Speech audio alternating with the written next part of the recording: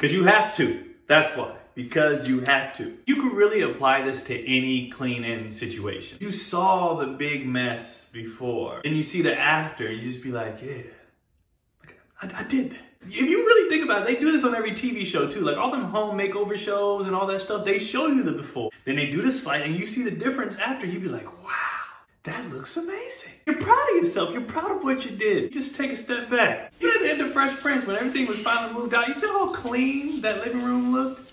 And Will just kind of turned and turned the lights off.